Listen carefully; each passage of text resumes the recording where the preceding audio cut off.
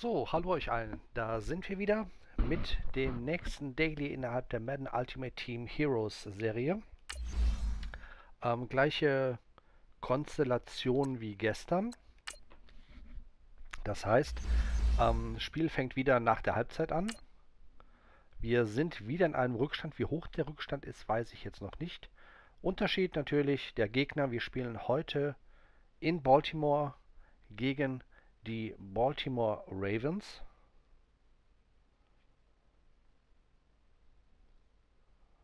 Und ich habe die Befürchtung, dass das äh, zwar ein bisschen aufregender wie die, wie die ersten ähm, paar Challenges über die gesamte Spielzeit wird, aber auch nicht so, dass man vor Spannung die Fingernägel in die Lehne seines Sessels haut. Aber wir sind mal gespannt, was denn da auf uns zukommt. Hier ist der Vorspann.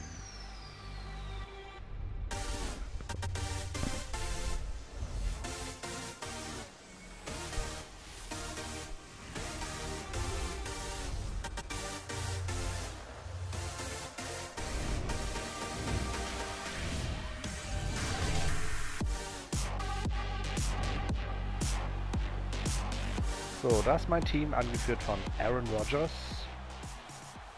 Da sind die Ravens, Yander, Smith und Mosley.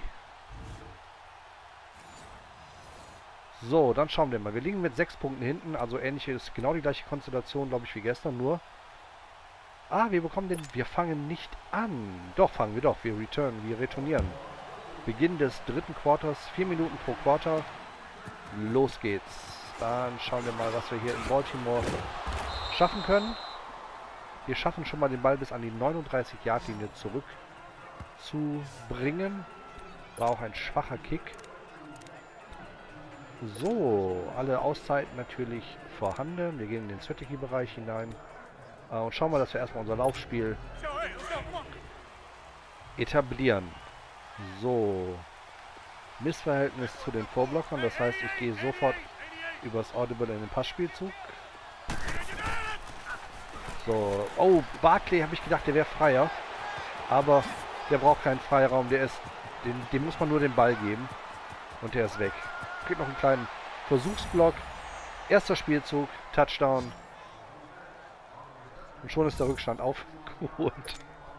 Entschuldigung, dass ich lachen muss, aber das erinnert mich fatal an das Spiel, das wir gestern hatten. Da lief es, glaube ich, ganz genauso. So. Der Kick war auch gut. Wir haben die Führung. Der ganze Spaß hat jetzt 15 Sekunden gedauert. Das Blöde ist, wir haben noch 7 Minuten und 45 Sekunden auf der Uhr, die wir noch irgendwie füllen müssen. Aber auch das bekommen wir bestimmt hin. So, unser Kick geht bis in die Endzone der Ravens, wird aber retourniert bis zur 21 Yard Linie. Der hätte er besser abgekniet, dann hätten die Ravens an der 25 anfangen dürfen. So, einmal schnell unsere Defense einstellen. Ja, ich hätte jetzt auch, ich hätte meinen Coach gebeten, Coach, lass mich bitte blitzen.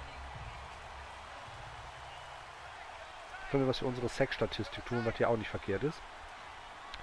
So, erster und 10.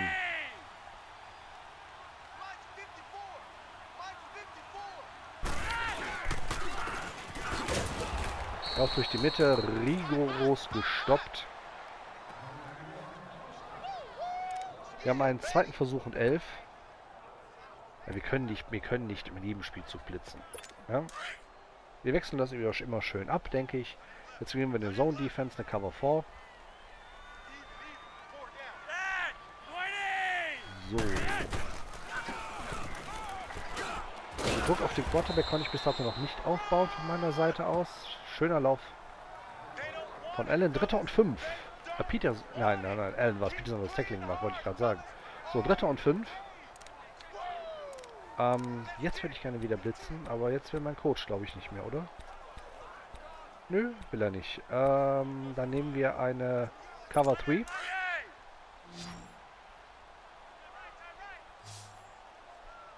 Ich versuche mal irgendwie an Flecko rankommen. Pass über die Außen, vollständiger Pass, First Down, Ravens. So, damit sind sie an der 34-Yard-Linie. Erster Versuch, wir blitzen. Overlord.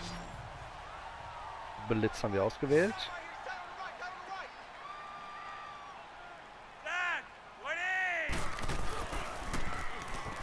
Schneller Pass von Flecko. Genau das richtige Mittel gegen den Blitz. Nah an die First Down Markierung heran. Ich habe noch nicht ganz drüber. Nein, zweites und eins. Zweiter Versuch. Mein Coach möchte wieder blitzen. Wir gehen mal mit unserem Coach. Thunder Smoke. Wir variieren natürlich die Blitze so ein bisschen durch.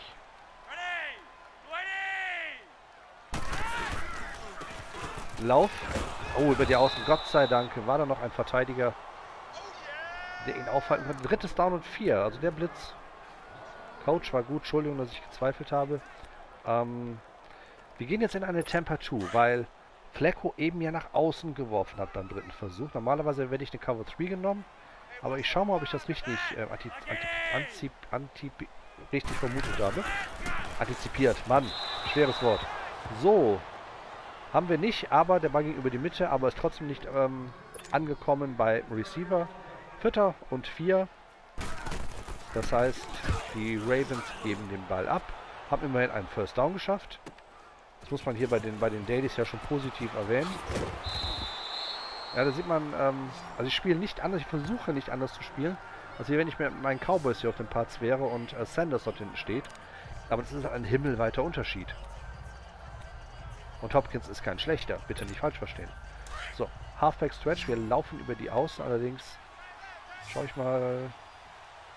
Doch, wir laufen über die Außen, obwohl das, äh, das Verhältnis der Blocker nicht stimmt, aber wir laufen ja eben drüben über die Außenseite hin.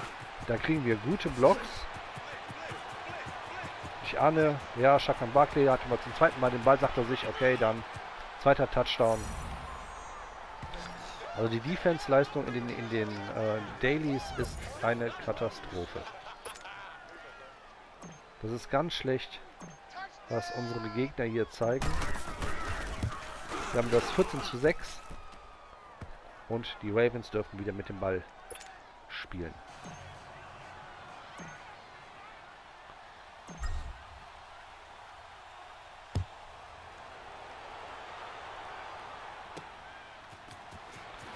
So, da kommt der Return.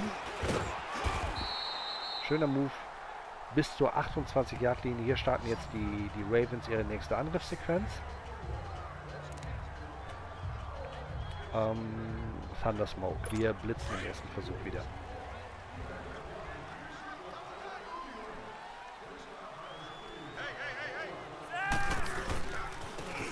Laufspielzug. Aber rigoros unterbrochen. Zweiter und neun. Ähm, Under Smoke Blitz. Wir bleiben dabei. Wir setzen jetzt mal die Ravens unter Dauerdruck. Schon bei dem Spielstand. Das gibt wohl nichts mehr Nein. Das Quarter ist vorbei. Wir gehen ins letzte Quarter. Spielstand 14 zu 6. Es ist nur ein One-Score-Game, aber ich habe da enorme Zweifel, dass sie zurückkommen werden. So, Cover 3. Wir bekommen keinen Blitz von unserem Coach angeboten. Was so ein, eine Quarter-Wechselpause für ein Umdenken bei unseren Coaches sorgen kann. Interessant. So, wir versuchen Druck, kein Druck. Oh!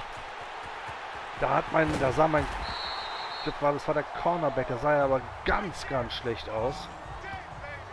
Er hatte schon wieder sich zu sehr in Richtung des Balles orientiert. Und ähm, dabei leider den Ball unterschätzt.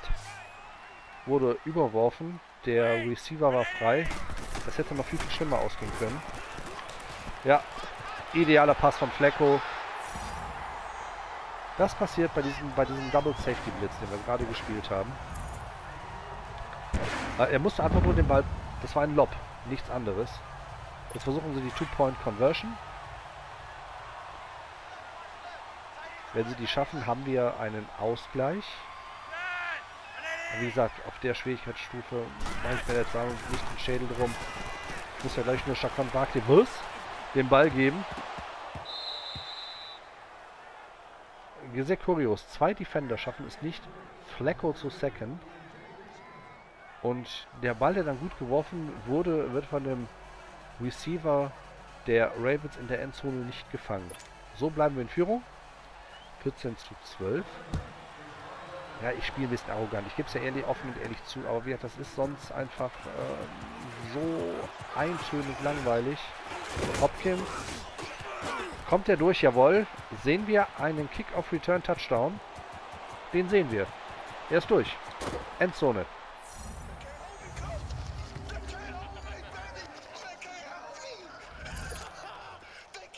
Ja, das war die perfekte Antwort. Mag der wird ein bisschen sickig sein. Der hätte gerne den Ball ein drittes Mal gehabt, um seinen dritten Touchdown zu ähm, machen. Aber so steht es 21 zu 12. Wir haben also eine 9 Punkte Führung und jetzt haben wir definitiv ein Two-Score-Game. Das heißt, die Ravens können nicht mit einer, mit einer, mit einem Score einen Ausgleich dieses Spielstandes herstellen. Sie müssen also zweimal scoren. So, der Return ist erfolgt. Die Ravens beginnen an der 28-Yard-Linie. Wir haben noch drei Minuten auf der Uhr. Die Ravens haben auch noch alle drei Auszeiten. Ähm, eine Cover 3. Ähm, wir sind jetzt mit den Blitzen mal ein bisschen vorsichtiger, ne? Vor allem mit den Blitzen, die man so eindeutig identifizieren kann. Schneller Pass, schnelle Reception. 5 Yards Raumgewinn. Damit sind die Ravens an der 33 Yard Linie. Ja, wir nehmen dann weiter die Cover 3.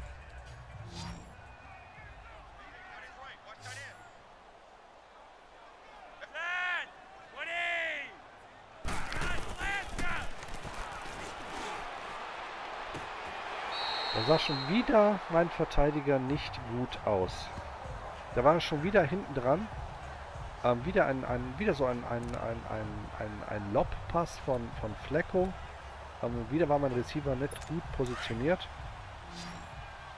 Completion, First Down, jetzt an der 41. Wir gehen in der Cover 4.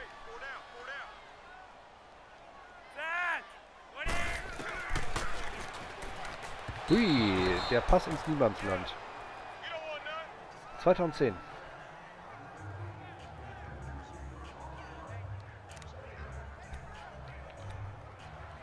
So. Wir wechseln in eine Cover 3.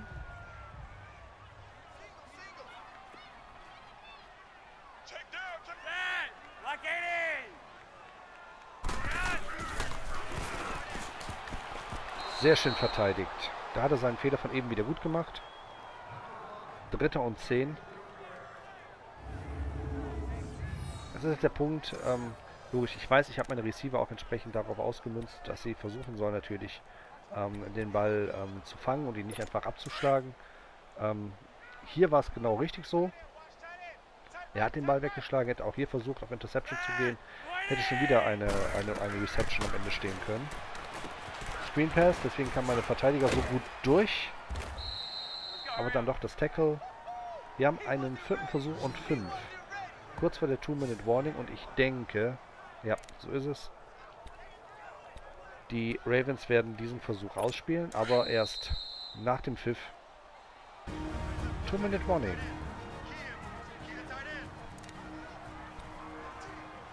So, 4. und 5 an der 46 Yard Line der Ravens. Schauen wir mal, ob sie diesen Versuch umwandeln können in ein neues First Down. Wieder gut verteidigt.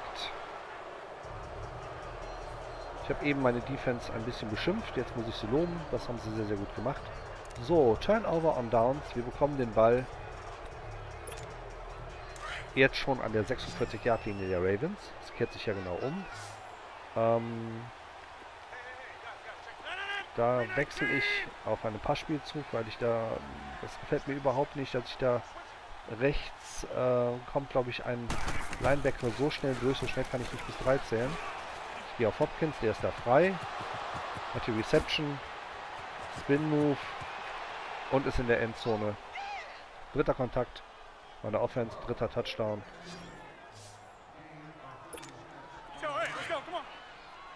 So, es war noch eine Two. Jetzt habe ich komplett verklickt, weil ich nie damit gerechnet habe, dass hier wirklich eine, eine Two-Point-Conversion kommt. Ich werde mich also auf F, also einen Play-Action-Spielzug auch noch. Kann ich da noch ein Audible draus machen.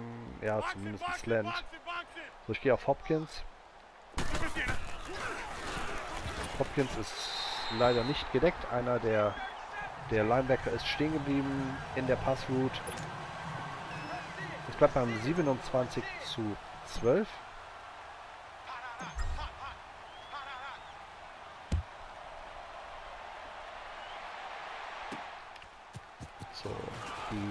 die Ravens retournieren, kriegt da mächtig einen mit. Erster Versuch Ravens an der 28-Yard-Linie. Noch 1,43 auf der Uhr. Wir gehen in eine Cover-4-Defense.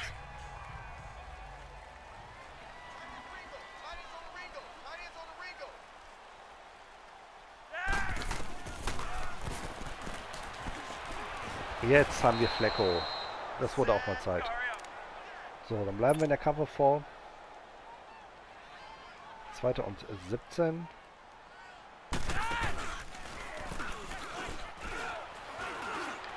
Kein Druck, aber der Ball war auch nicht gut geworfen. Der war nicht gut geworfen und der Receiver war auch noch gut gedeckt. Also da klebte ein Verteidiger an ihm dran. Dritter Versuch und 17.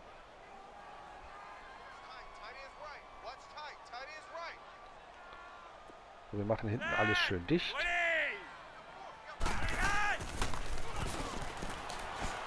Da kommt der weite Ball von Flecko. Und da ist die Intercept. Das, was er eben vorhatte. Jetzt hat er es geschafft. True Font. Wow. Ein Miroslav Klose Salto.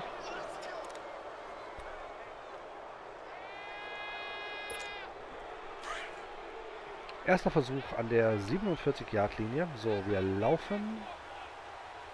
Ja, über die Außen, das sieht gut aus. Das setzen wir auch so um.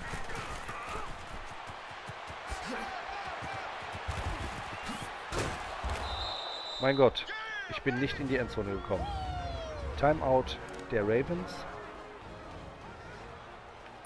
So, Laufspiel wäre angedacht gewesen über die Mitte, aber da ist alles zu, was die Vorblöcke angeht. Oh, da habe ich mich, glaube ich, gerade komplett verklickt. Da sind wir auf irgendeinen Knopf gekommen, auf den wir nicht hätten kommen dürfen. Kann ich, jetzt kriege ich auch kein Audible mehr hin. Ah, laufen wir durch die Mitte. Oder auch nicht, weil die ist ziemlich zu.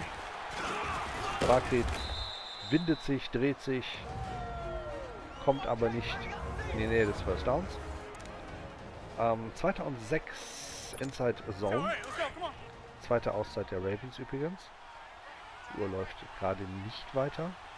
So, das sieht aber jetzt gut aus. Laufen wir innen über die rechte Seite. Laufen den Linebacker ein bisschen weg, haben das First Down. Letzte Auszeit der Ravens. Halfback Dive durch die Mitte einfach. Ich nehme einfach nur ein bisschen Zeit von der Uhr nehmen. Sofern das die, ähm, die Defense von der Aufstellung her mitmacht, halten wir den Ball auf dem Boden. So, ich wollte über die Mitte laufen, aber da war so viel frei auf der linken Seite. Sind wir leider ins Ausgegangen, dadurch ist die Uhr wieder angehalten. Passiert nicht mit Absicht, ich möchte die Ravens nicht vorführen. Aber wir laufen über die Außen. und sind in der Endzone. Oder Barkley seinen dritten Touchdown.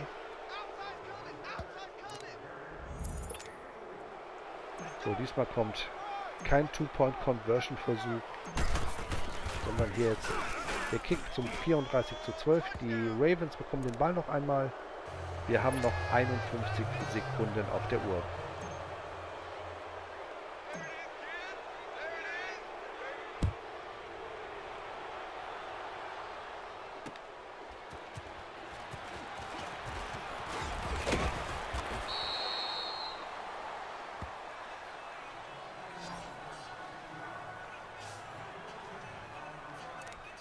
So. Cover 3. Ganz konservativ. Ich hoffe, Sie, Sie sind jetzt auch mit konservativen Spielzügen unterwegs. Äh, also kurzen Pässen, vielleicht ein paar Läufe. Nein. Flecko packt wieder einen aus. Passend dazu wirft er den Ball auch ins Aus. Wir gehen in eine Cover 4. Man merkt schon, ja, das, das ist auch, das ist nicht so interessant, muss ich ganz ehrlich sagen. Also ich freue mich, da noch ein paar Solo-Battles jetzt am Wochenende zu spielen, da freue ich mich deutlich mehr drauf. So, ein paar schöne Challenges haben wir auch noch. Das war ein Déjà-vu, war glaube ich der gleiche wie gerade eben. So, und damit haben wir den dritten Versuch und 10. Also der Fleck hat aber auch Spaß daran, alles in die Länge zu ziehen.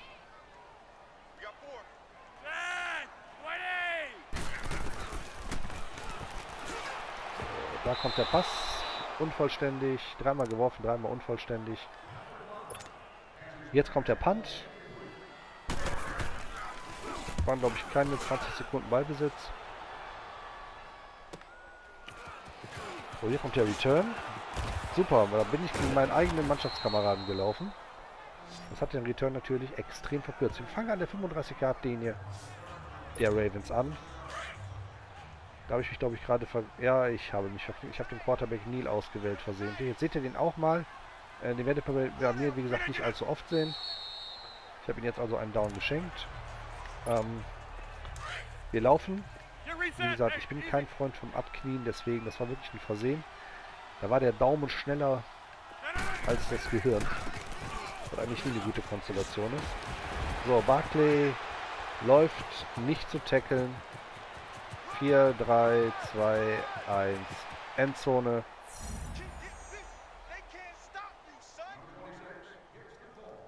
Mein Gott. Also da, da, ist, da, ist, da ist keine Defense auf dem Feld, da muss man einfach sagen. Ich glaube, wenn ich, wenn ich jetzt passen würde die ganze Zeit, ähm, würde wär, würd es, wäre es genauso einfach. Also die sind, die sind weder, dass man sagen kann, boah, die sind aber bestimmt gut gegen den Pass. Nein, sind sie nicht. Hat man ja gesehen, als Hopkins äh, seinen Touchdown erzielte. Ähm, das ist einfach nur nicht gut. Aber es hat der Rookie-Schwierigkeitsgrad. Ähm, Spiel ist aus. Wir haben souverän gewonnen. Vielen Dank. Bis zum nächsten Mal. Ciao.